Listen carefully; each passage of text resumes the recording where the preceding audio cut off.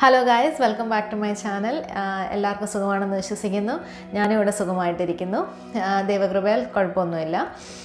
ഇന്നത്തെ വീഡിയോയിൽ ഞാൻ നിങ്ങളോട് സംസാരിക്കാനായിട്ട് ആഗ്രഹിക്കുന്നത് ജോസഫിനെ പറ്റിയാണ്. ജോസഫ് നമുക്കറിയാം ബൈബിളിൽ ഇമ്പോർട്ടന്റ് ആയിട്ട് മൂന്ന് ജോസഫാണുള്ളത്. നമ്മളെപ്പോഴും സംസാരിക്കുന്നത്. അല്ലാതെ ഒരുപാട് ജോസഫുമാരുണ്ട്. ആദ്യത്തേത് നമ്മുടെ പഴയ നിയമത്തിലെ യാക്കോബിന്റെ മകനായ ജോസഫ്. രണ്ടാമത്തെ പരിശുദ്ധ അമ്മയെ വിവാഹം നിശ്ചയിച്ച് വിവാഹം കഴിച്ച ജോസഫ്. മൂന്നാമത്തെ യേശുക്രിസ്തുവിന്റെ ക്രൂശ് മരണത്തിന് ശേഷം ക്രിസ്തുവിന്റെ ശരീരം ഏറ്റുവാങ്ങിയ അരുമത്തിക്കാരനായ ജോസഫ്. അങ്ങനെ മൂന്ന് ജോസഫാണ് നമുക്ക് എപ്പോഴും നമ്മൾ സംസാരിക്കുന്ന ജോസഫുമാർ അപ്പോൾ എനിക്ക് നിങ്ങളോടൊന്ന് പറയാനുള്ളത് പഴയ നിയമത്തിലെ യാക്കോബിന്റെ പുത്രനായ ജോസഫിനെ പറ്റിയാണ്. ഞാൻ പറഞ്ഞല്ലോ ജോസഫ് ജേക്കബിന്റെ അല്ലെങ്കിൽ യാക്കോബിന്റെ ഏറ്റവും വാർ അദ്ദേഹത്തിന് വാർദ്ധക്യകാലമായതിനു ശേഷമുണ്ടായ പുത്രനാണ് ജോസഫ്. അദ്ദേഹം ഒരുപാട് സ്നേഹിച്ച പുത്രനാണ് ജോസഫ്. അദ്ദേഹത്തിന് പതിനൊന്നാമത്തെ പുത്രനാണ്. അതിനുശേഷം ഉണ്ടായ ആളാണ് ബെന്യാമിൻ. അപ്പോൾ ജോസഫ് നമുക്ക് ജോസഫിന്റെ കഥ നല്ലതുപോലെ അറിയാം അല്ലേ? കുഞ്ഞുനാൾ തൊട്ട് നമ്മൾ സൺഡേ സ്കൂളിലോട്ട് പഠിച്ച് കേട്ട് പരിചയമുള്ള കഥയാണ് ജോസഫിന്റെ ജോസഫിന്റെ സ്വന്തം സഹോദരങ്ങൾ അസൂയ കാരണം അദ്ദേഹത്തെ മറ്റ് മറ്റ് അന്യർക്ക് അല്ലെങ്കിൽ ഈജിപ്തിലെ ഉള്ള ആളുകൾക്ക് വിറ്റ കഥയും നമുക്കറിയാം. അപ്പം ജോസഫിനൊരു കഴിവുണ്ടായിരുന്നു. എന്തുകൊണ്ടാണ് സഹോദരങ്ങൾക്ക് ജോ ജോസഫിനോട് ദേഷ്യം തോന്നിയതിന്റെ കാരണം അദ്ദേഹത്തിനൊരു പ്രത്യേക കഴിവുണ്ടായിരുന്നു. അതായത് സ്വപ്നം കാണുക അല്ലെങ്കിൽ സ്വപ്നം കണ്ട സ്വപ്നത്തെ എക്സ്പ്ലെയിൻ ചെയ്ത് വിവരിച്ചു കൊടുക്കുക മനുഷ്യർക്ക് മനസ്സിലാകാത്ത തരം സ്വപ്നത്തെ വിശദീകരിച്ചു കൊടുക്കുന്ന ഒരു പ്രത്യേക കഴിവ് അദ്ദേഹത്തിനുണ്ടായിരുന്നു. അപ്പം ഈ കഴിവ് തന്നെയാണ് ഈ സ്വപ്നം കാണാനുള്ള ആ ഒരു കഴിവ് തന്നെയാണ് അദ്ദേഹത്തെ സഹോദരങ്ങളെ ഒറ്റപ്പെടാനും കുടുംബത്തിൽ നിന്ന് കൊല്ലുവാൻ സഹോദരങ്ങൾക്ക് കൊല്ലാനുള്ള പക വരെ തോന്നിയതും അതേസമയം തന്നെ ഇതേ കഴിവ് തന്നെയാണ് അദ്ദേഹത്തെ കൊട്ടാരത്തിൽ എത്തിച്ചതും. അപ്പോൾ ഈ ഒരു കഴിവ് തന്നെ ഒരു മനുഷ്യന്റെ രീതിയിൽ ജീവിതത്തിൽ രണ്ട് രീതിയിൽ ഇൻഫ്ലുവൻസ് ചെയ്യുന്നത് അല്ലെങ്കിൽ കാണുന്നതാണ് നമ്മൾ ജോസഫിന്റെ സ്റ്റോറി കൂടെ കാണുന്നത്. അപ്പോൾ ഞാൻ പറഞ്ഞു ജേക്കബിന് ഒരുപാട് ഇഷ്ടമുള്ള മകനാണ് ജോസഫ്. അപ്പം രണ്ട് സ്വപ്നം അദ്ദേഹം കണ്ടു. രണ്ട് തവണയും സ്വപ്നം കാണുന്നതിൽ കൂടെ സ്വപ്നം പങ്കുവെക്കുന്നതിൽ കൂടി സഹോദരങ്ങൾക്ക് ദേഷ്യം തോന്നും. ഇപ്പം ജേക്കബിന് യാക്കോബിന് മനസ്സിലായി സ്വന്തം മകന്റെ ഭാവിയെ പറ്റി. അദ്ദേഹം തന്റെ സ്വപ്നം തന്റെ മകന്റെ ഫ്യൂച്ചർ എന്താണെന്നുള്ളത് ജേക്കബിന് മനസ്സിലായി അല്ലെങ്കിൽ യാക്കോബിന് മനസ്സിലായി. അപ്പോൾ അദ്ദേഹം വളരെ സന്തോഷം ഉണ്ട്. അത് ഒരു രീതിയിൽ പറഞ്ഞാൽ അദ്ദേഹം സന്തോഷിക്കാൻ സന്തോഷിക്കേണ്ടതാണ്. കാരണം സ്വന്തം മകന് നല്ല ഭാവിയാണ്. മറ്റെല്ലാവരേക്കാളും അദ്ദേഹം ഉയരത്തിലേക്ക് പോകുന്നു എന്നുള്ളൊരു സ്വപ്നമാണ്. എന്ന മെസ്സേജാണ് ജോസഫിന്റെ സ്വപ്നത്തിൽ കൂടി യാക്കോബിനും മനസ്സിലായത്. അപ്പോൾ അങ്ങനെ ഇരിക്കുന്ന സമയത്താണ് ജേക്കബിനെ കൊല്ലാനായിട്ട് സോറി ജോസഫിനെ കൊല്ലാനായിട്ട് സഹോദരങ്ങൾ നോക്കുന്നതും മിസ്രൈമിലേക്ക് പോകുന്ന ഇസ്മായിലുടെ കയ്യിൽ അവനെ വിൽക്കുന്നതും. ആദ്യം കൊല്ലാനാണ് തീരുമാനിക്കുന്നത്. അപ്പോൾ രൂപൻ അവരുടെ മൂത്തപുത്രനായ രൂപൻ ഇടപെട്ട് കൊല്ലണ്ട നമുക്ക് കുഴി തള്ളിയിടാം ആരെങ്കിലും കാട്ടുമൃഗങ്ങൾ വല്ലതും കടിച്ച് തിന്നോട്ടെ ആ രക്തത്തിൽ നമുക്ക് പങ്ക് വേണ്ടെന്ന് പറഞ്ഞിട്ട് അദ്ദേഹത്തെ ഒരു കുഴി തള്ളിയിടുന്നു അതിനുശേഷം ഈ ഇഷ്മേലർ വരുമ്പോൾ വ്യാപാരികൾ വരുമ്പോൾ യഹൂദ അദ്ദേഹം മൂത്ത മകനാണ് യാക്കോബിന്റെ യഹൂദ പറയുന്നു ഈ ചോരയിൽ നമുക്ക് പങ്ക് വേണ്ട. നമ്മുടെ സഹോദരൻ തന്നെയല്ലേ? അവനെ അവർ കൊണ്ടുപോയിക്കോട്ടെ നമുക്ക് വിൽക്കാം എന്നുള്ള രീതിയിൽ ഇരുപത് വെള്ളിക്കാശിന് ജോസഫിനെ വിൽക്കുകയാണ് ചെയ്യുന്നത്. അപ്പോൾ ഇവിടം തൊട്ട് ജോസഫിന്റെ എന്താണ് ജീവിതം മാറുകയാണ്. കുഴിയിൽ നിന്ന് വലിച്ചു കയറ്റി അവരെ അവനോടൊപ്പം പറഞ്ഞു വിടും. പൈസയും മേടിക്കും. അപ്പോൾ എന്നിട്ട് പിതാവിന്റെ അടുത്ത് പോയി പറഞ്ഞു ജോസഫിന് ഒരു അങ്കി ഉണ്ടായിരുന്നു നിലയങ്കി. ജേക്കബ് സ്നേഹത്തോടെ യാക്കോബ് കൊടുത്തതാണ് സ്വന്തം മോന്. അതിനകത്ത് ഒരു എന്തിനെയോ മൃഗത്തെ കൊന്ന് ചോര അതിലാക്കി അത് ജോസഫിന്റെ രക്തമാണെന്ന് പറഞ്ഞ് യാക്കോബിനെ വിശ്വസിപ്പിക്കുകയും ചെയ്തു. യാക്കോബ് തകർന്ന് തകടം പറഞ്ഞു ഇവിടെ നമുക്ക് ഒരുപാട് കാര്യങ്ങൾ മനസ്സിലാക്കാൻ പറ്റും. ഈ ജോസഫിന്റെ സ്റ്റോറിയിൽ ഒത്തിരി കാര്യങ്ങളുണ്ട്. അപ്പം ഒരുപാട് സ്വപ്നങ്ങൾ. ഞാൻ നേരത്തെ പറഞ്ഞു ജോസഫിന്റെ സ്വപ്നം യാക്കോബിന് അറിയാം യാക്കോബ് അത് മനസ്സിൽ സംഗ്രഹിച്ചു എന്നാണ് പറയുന്നത് ഈ നടന്ന കാര്യങ്ങളൊക്കെ. ഉൽപ്പത്തി പ്ര ഉൽപ്പത്തിയുടെ പുസ്തകം മുപ്പത്തേഴ് മുപ്പത്തെട്ട് മുപ്പത്തൊമ്പത് നാൽപ്പത് ആ അധ്യായങ്ങളിലാണ് ജോസഫിന്റെ സ്റ്റോറി നമുക്കറിയാൻ പറ്റുന്നത്. അപ്പോൾ ഇതിനകത്ത് വ്യക്തമായിട്ട് പറയുന്നുണ്ട് ഈ നടന്ന സംഭവങ്ങളും സ്വപ്നങ്ങളും അതിന്റെ അർത്ഥങ്ങളും എല്ലാം യാക്കോബ് തന്റെ ഉള്ളിൽ സംഗ്രഹിക്കുന്നുണ്ടെന്ന്. അപ്പോൾ ഒരു സുപ്രഭാതത്തിൽ സ്വന്തം കുഞ്ഞിനെ അത്രത്തോളം സ്നേഹിച്ച സ്വന്തം മകനെ നഷ്ടപ്പെട്ടെന്ന് അറിയുമ്പോൾ യാക്കോബിന് സഹിക്കാൻ കഴിയുന്നില്ല. തന്റെ സ്വപ്നങ്ങളും ആഗ്രഹങ്ങളും എല്ലാം നഷ്ടപ്പെട്ടു. എവിടെയോ എത്തേണ്ട തന്റെ മകൻ കാട്ടുമൃഗങ്ങളാൽ ആക്രമിക്കപ്പെട്ട് കൊല്ലപ്പെടുന്നു. സ്വന്തം സഹോദരങ്ങൾ ഇത് ചെയ്യുന്നതെന്ന് യാക്കോബിന് മനസ്സിലാകുന്നില്ല. അവിടെ തൊട്ട് അദ്ദേഹം വിലാപത്തിലാണ്. പഴയ യാക്കോബാകാൻ അദ്ദേഹത്തിന് കഴിയുന്നുണ്ടായിരുന്നില്ല.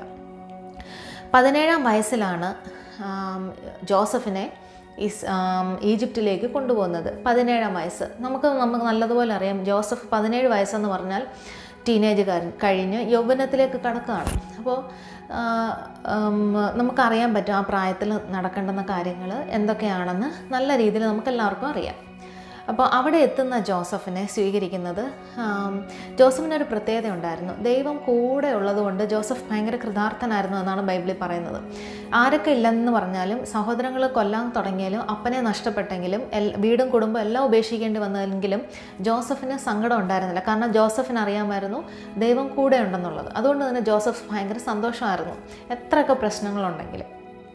അതിനുശേഷം ഇസ്രേ അവിടെ എത്തുന്നു. ജോസഫ് ചെല്ലുന്നിടത്തെല്ലാം ദൈവത്തിന്റെ അനുഗ്രഹം ഉണ്ടായിരുന്നു. ചെല്ലുന്ന ഇടം മുഴുവൻ അനുഗ്രഹിക്കപ്പെടുന്ന ഒരവസ്ഥയാണ് നമ്മൾ ബൈബിൾ കാണുന്നത്. ഈ മിസ്രൈമിൽ നിന്ന് ഈ ഇഷ്മാലരിൽ നിന്ന് വ്യാപാരികളിൽ നിന്ന് ജോസഫിനെ മേടിക്കുന്നത് പോത്തിഫർ എന്ന് പറയുന്ന ഒരു ഭരവോന്റെ ഒരു എന്താണ് ഒരു ഓഫീസറാണ് അല്ലെങ്കിൽ ഒരു കാര്യവിചാരകനാണ് എന്നാണ് പറയുന്നത്. അദ്ദേഹമാണ് ജോസഫിനെ അവരുടെ കയ്യിൽ നിന്ന് വാങ്ങിക്കുന്നത്. ഇദ്ദേഹത്തിന് മനസ്സിലായി യഹോവ കൂടെ ഉണ്ടെന്നുള്ളത് അതുകൊണ്ട് തന്നെ ജോസഫിനെ വിശ്വസിച്ച് ജോസഫിനെ സ്നേഹിക്കാൻ തുടങ്ങി വിശ്വസിക്കാൻ തുടങ്ങിയതോടുകൂടി അയാളുടെ ഭവനവും അയാൾ ഏർപ്പെട്ടിരിക്കുന്ന മേഖല മുഴുവൻ ദൈവം അനുഗ്രഹിക്കാൻ തുടങ്ങി. ഇയാൾക്ക് മനസ്സിലായി ദൈവം കൂടെ ഉണ്ടെന്നുള്ളത് അതുകൊണ്ട് തന്നെ അദ്ദേഹം കഴിക്കുന്ന ചോറൊഴിച്ച് ആഹാരം ഒഴിച്ച് ബാക്കി എല്ലാം ജോസഫിനെ ഏൽപ്പിച്ചു കൊടുക്കാനും മാത്രം അദ്ദേഹത്തിന് ജോസഫിൽ വിശ്വാസം ഉണ്ടാകുന്നു അവിടെയാണ് നമ്മൾ പിന്നെ കാണുന്നത്. ജോസഫ് ആ വീടിന്റെ കാര്യവിചാരകനായി മാറുന്നതാണ് പിന്നീട്. പക്ഷെ വരാൻ പോകുന്ന കാര്യങ്ങൾ എന്തൊക്കെയാണെന്ന് ദൈവത്തിന് മാത്രമേ അറിയത്തുള്ള അറിയ അറിവ് ഉള്ളായിരുന്നുള്ളൂ. കാരണം ഇനിയാണ് ഞാൻ പറയാൻ ഇന്ന് ഈ വീഡിയോയിലൂടെ ഞാൻ പറയാൻ ഉദ്ദേശിക്കുന്ന കാര്യം നിങ്ങളോട് വന്ന് ഓൾറെഡി എല്ലാവർക്കും ജോസഫിന്റെ കഥ അറിയാം. ഇവിടെ വെച്ചിട്ടാണ് ജോസഫ് ടെംപ്റ്റേഷൻ അല്ലെങ്കിൽ ഒരു പ്രലോഭനത്തിൽ അകപ്പെടുന്നത്. ജോസഫിനെ പറ്റി പറയാനാണെങ്കിൽ ഒരുപാട് കാര്യങ്ങൾ നമുക്ക് പറയാനുണ്ട്. പക്ഷേ എനിക്ക് ഫോക്കസ് ചെയ്യാൻ ആഗ്രഹമുള്ളത് ഈ പ്രലോഭനത്തിലാണ് ടെംപ്റ്റേഷനിലാണ് ബൈബിൾ വ്യക്തമായി പറയുന്നുണ്ട് ജോസഫ് മനോഹര ശരീര ശരീരം നല്ല കോമള രൂപിയായിരുന്നു സുന്ദരനായിരുന്നു. ഹി വാസ് സോ ഹാൻസം മറ്റൊരാൾക്കും ഒരു അട്രാക്ഷൻ തോന്നുന്ന രീതിയിൽ സുന്ദരനായിരുന്നു ജോസഫ്. അദ്ദേഹത്തിന്റെ ശരീരത്തിലും അദ്ദേഹത്തിന്റെ സൗന്ദര്യത്തിലും പോത്തിഫറിന്റെ ഭാര്യയുടെ കണ്ണുടക്കി. നമുക്കറിയാം ജോസഫ് അവിടെ എന്താ ചെയ്തതെന്ന് വ്യക്തമായിട്ട് എല്ലാവർക്കും അറിയാം. ഒരിക്കൽ പോലും അവരുടെ സെഡക്ഷൻ അല്ലെങ്കിൽ അവരുടെ പ്രലോഭനത്തിൽ അവർ ടെംപ്റ്റ് ചെയ്യുമ്പോൾ ജോസഫ് ഒരിക്കലും പിടികൊടുത്തിട്ടില്ല. ജോസഫ് അവരോട് പറയുന്നൊരു കാര്യമുണ്ട് നിന്റെ ഹസ്ബൻഡ് അല്ലെങ്കിൽ നിന്റെ ഭർത്താവ് ഈ ഭവനത്തിലെ എല്ലാം എന്നെ ഏൽപ്പിച്ചിട്ടുണ്ട്. ഒരു ഭാര്യ എന്ന നിലയിൽ നിന്നെ നിന്നെ എന്നെ ഏൽപ്പിച്ചിട്ടില്ല. ബാക്കി എല്ലാ കാര്യത്തിലും എനിക്ക് അവകാശമുണ്ട്. അദ്ദേഹത്തോട് ഒരിക്കലും മഹാ ഈ ദോഷം ചെയ്ത് ഞാൻ ദൈവത്തിന് മുമ്പിൽ പാപം ചെയ്യാൻ നീ എന്നെ പ്രേരിപ്പിക്കരുതെന്ന് ജോസഫ് പറയുന്നുണ്ട്. ജോസഫിന് വെറും പതിനേഴ് പതിനെട്ട് വയസ്സേ ഉള്ളൂ ആ സമയത്ത്. ഇത്രത്തോളം പറയാനുള്ള മെച്യൂരിറ്റി തന്റെ ദൈവത്തിന് എതിരായി ആറാം കൽപ്പന തെറ്റിക്കാൻ ജോസഫ് ഒരിക്കലും നിന്നു കൊടുത്തിട്ടില്ല. ഈ പ്രലോഭനത്തെ നേരിടുന്നത് വളരെ ഒരുപാട് തവണ. ജോസഫിനെ കാണുമ്പോഴും കേൾക്കുമ്പോഴും ജോസഫ് അടുത്ത് വരുമ്പോഴും ഒക്കെ ഈ സ്ത്രീ ജോസഫിനെ പ്രലോഭിപ്പിക്കുന്നുണ്ട്. പാപം ചെയ്യാനായിട്ട് പ്രേരിപ്പിക്കുന്നു. ആ സമയത്തൊക്കെയും ജോസഫ് ഒഴിഞ്ഞു മാറി ഒഴിഞ്ഞു മാറി. അത്രത്തോളം ജോസഫിന് ദൈവത്തെ ഭയം ഉണ്ടായിരുന്നു. ദൈവത്തിന് ഇഷ്ടമല്ലാത്തൊന്നും ജോസഫ് ചെയ്യുന്നുണ്ട് ജോസഫ് നല്ലതുപോലെ അറിയാം. അതുപോലെ വലിയൊരു പാപമാണ് താൻ ചെയ്യാൻ പോകുന്നതെന്ന്. അതേസമയം ജോസഫിന് മറ്റൊരു കാര്യവും അറിയാമായിരുന്നു. ഇവരോട് കൂടെ നിന്ന് ഇവർ ഇവർ പറയുന്നത് കേട്ട് പാപം ചെയ്തിരുന്നുണ്ടെങ്കിൽ ജോസഫിന് അവിടെ ഒരു കുഴപ്പമില്ലാതെ സുഖമായി ജീവിക്കാമായിരുന്നു. ആരും ഒന്നും അറിയാൻ പോകുന്നില്ല. പക്ഷെ ഒരിക്കലും ജോസഫ് ആ വഴി തിരഞ്ഞെടുത്തില്ല.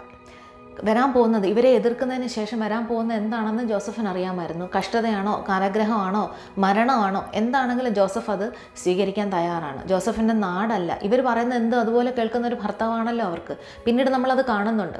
ജോസഫിനെ പിന്നെയും ഉപദ്രവിക്കാൻ ശ്രമിക്കുമ്പോൾ ജോസഫ് തന്റെ ഡ്രസ്സ് ഇട്ടിരുന്ന അങ്കി ഊരി അവരുടെ കൊടുത്തിട്ട് അവ- അവന് ഓടി രക്ഷപ്പെടുമായിരുന്നു ചെയ്യുന്നത്. ആ സാഹചര്യം അവർ മുതലെടുത്തു.